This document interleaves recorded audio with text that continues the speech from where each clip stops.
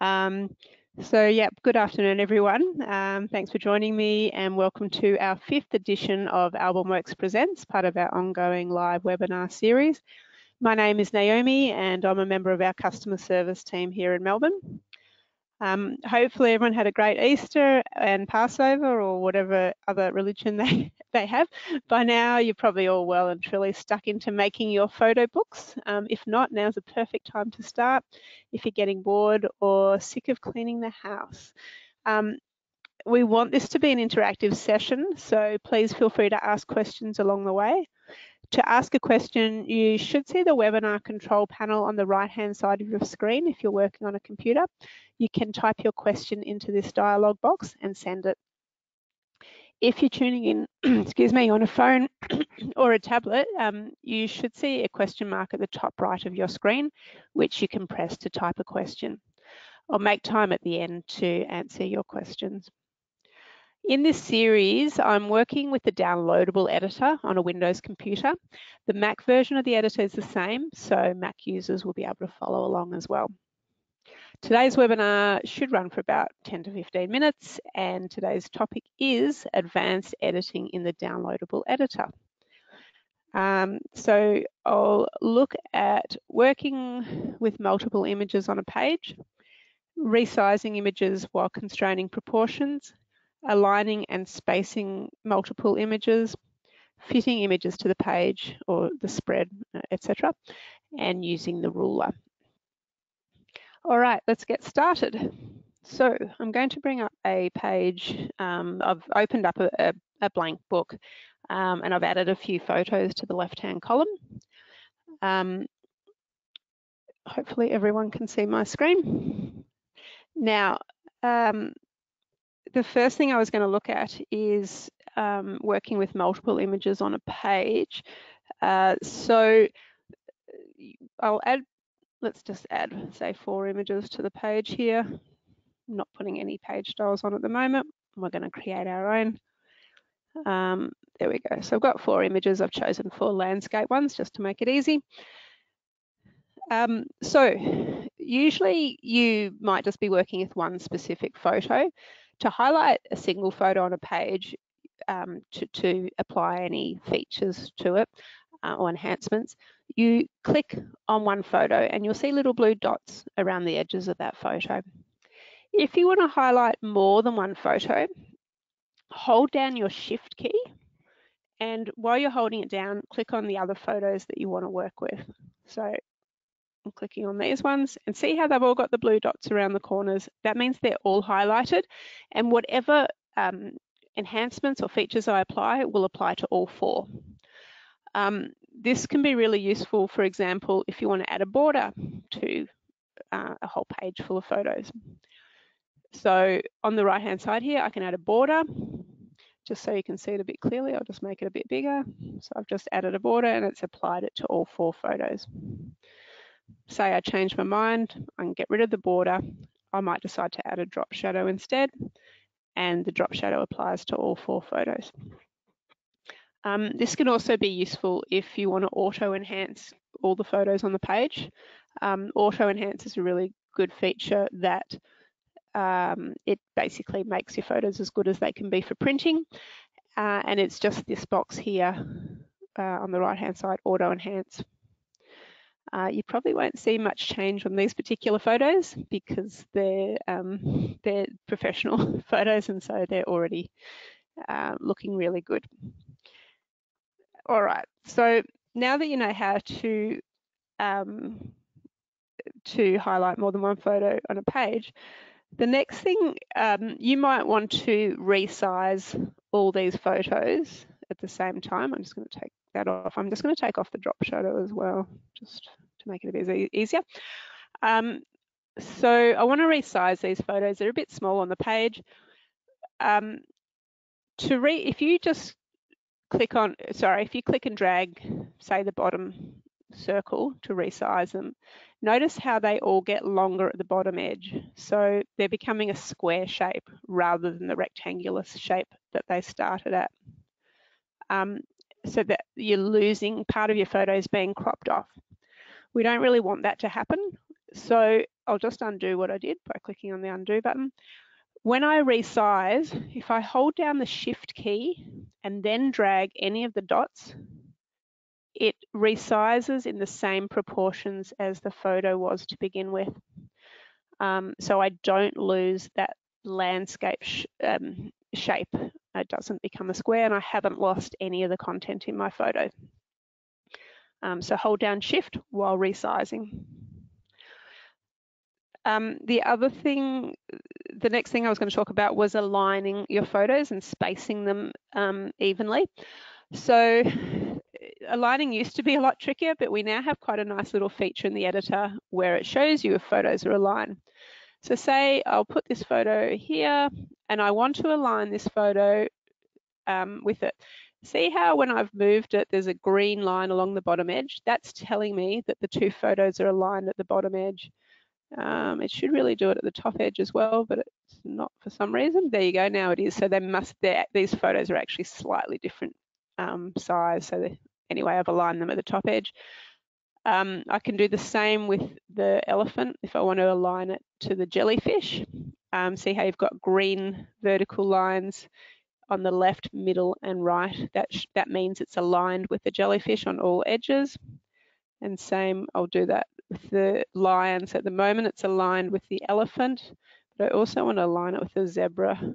So I don't know why it changed. Sometimes it's a different color. I think it's aligning it's not exactly the same size photo, so that doesn't help. Um, but there you go, now it's aligned on the left edge. So I've put them all, um, they're as aligned as they can, can be. Um, the old fashioned way of aligning items was, and you can still use this, is you click on this one photo and then click on, um, hold down your shift key and click on the photo next to it. They're on the same um, horizontal level. You can then right click and choose align and then you can align the top edges or the bottom edges, whichever you prefer, and it'll, it'll make sure they're aligned. Um, the other thing you can do with aligning is you can you can space the items. I'm just going to highlight them all again, and I just want to make them a bit. I'm going to make them quite small. I've decided I might put. Um, oops, sorry. I'm just going to move one at a time. Actually, that's the other thing I was going to tell you. If you've highlighted all four photos and then you decide you don't want to move all four photos, um, just hold down shift and click on the photo again and it'll unhighlight it. Um, so I've decided I might, um, I want to line these up down the bottom of the page quite small. So I'm going to highlight them all again and I want them to have even spacing between them. So if I right click and choose align space, um, then choose space items, left, left click, and I can space these items one from, from each other. So I want to click on, I've ticked here this horizontal alignment because they're sitting horizontal, horizontally with each other. And I can choose how much space I want between them um, I might say I only want, I don't know, five millimeters between them. And I click OK.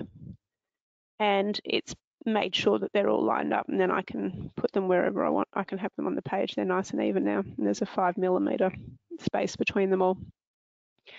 Um, I might want to also add this image to the back of the page. Um, uh, uh this is actually the next excuse me, the next area, which is fitting a photo to a page. Um, so I want this photo to take up the entire page. To do that, there's a really easy way. You right click on the photo, left click on fit, and then left click on fit to page. And it takes up the whole page. I can crop it if I don't like which bit's showing.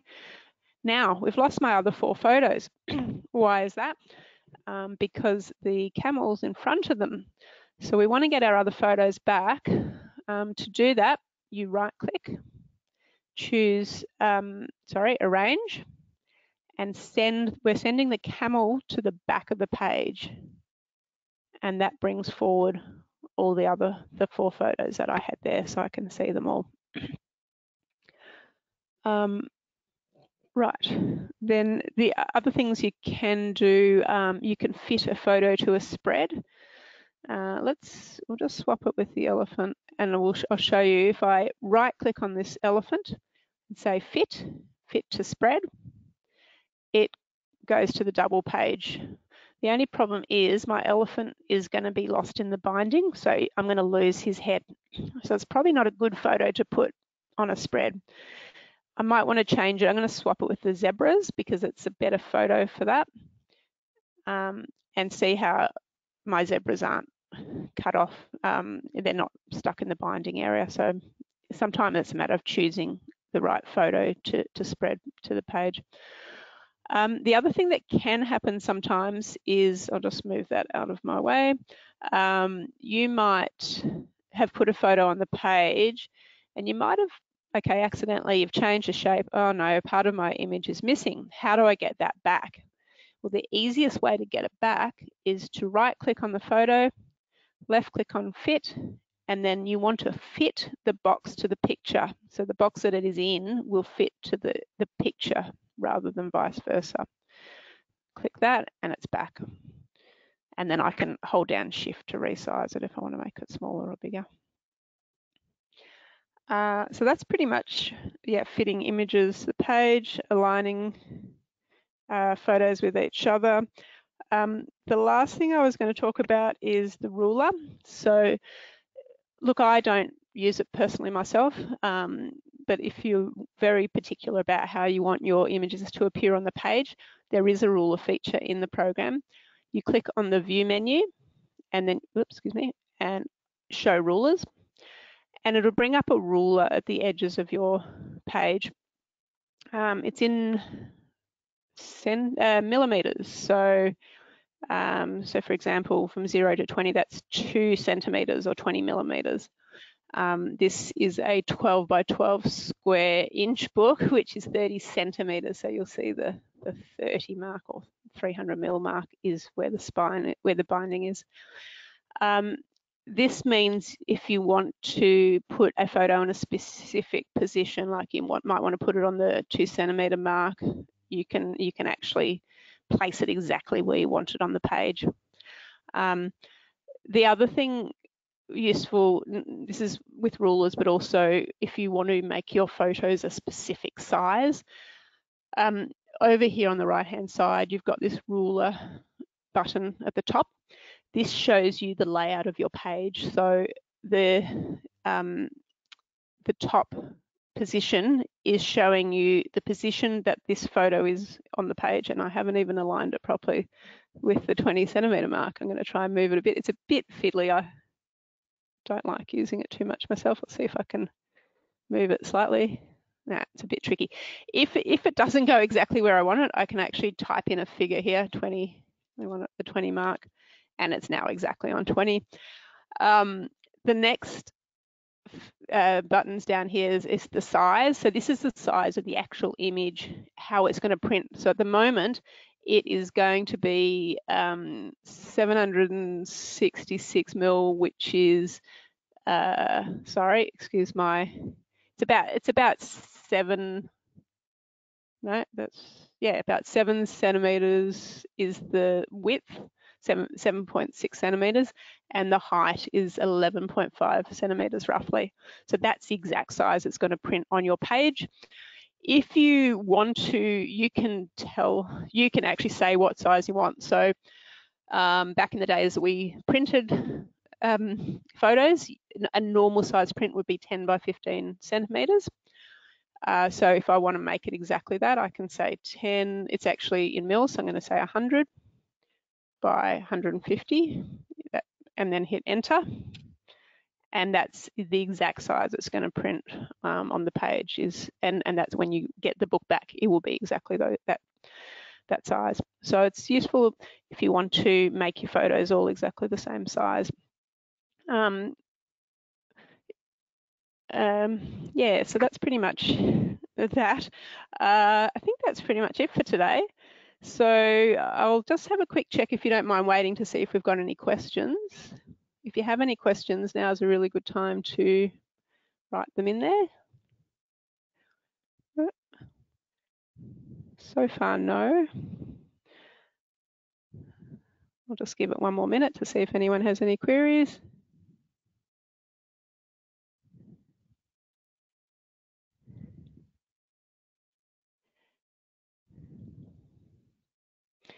I was going to say also, if, if you, um, when I talked about highlighting more than one photo on the page, you can also do it by hitting Control A on your keyboard, Control All.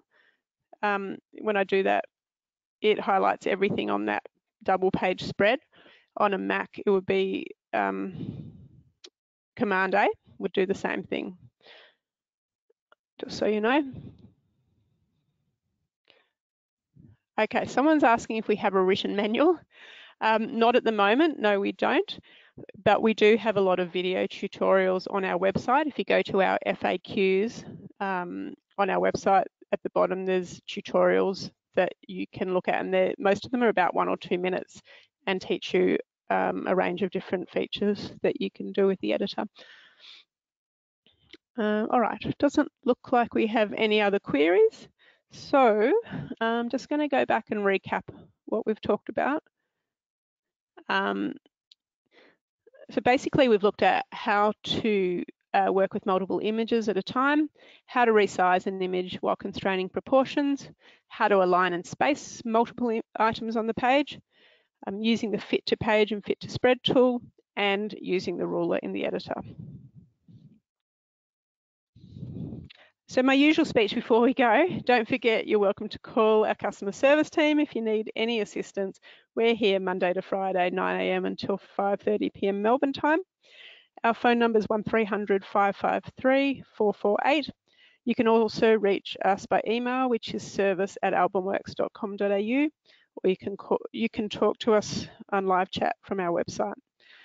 You can also head to our website at www.albumworks.com.au to view our Mother's Day promotion to save on your next order, as well as enter our Instagram competition. Also, if you want to watch our previous webinars, um, click on, on the home page, click on the webinars and tutorials link, and that will take you to a page that lists all the webinars that have already been done. And today's one will get put there as well. Uh, it's business as usual for our production team. We're still here making your photo products. There might be a slight delay in delivery, um, which you can read about on our website. So thanks again for joining us and looking forward to having you here again for our next webinar. Um, I think next we'll start um, looking at different themes that you can use to make your photo books and designing beautiful albums. In the meantime, have fun creating your photo books. Bye bye.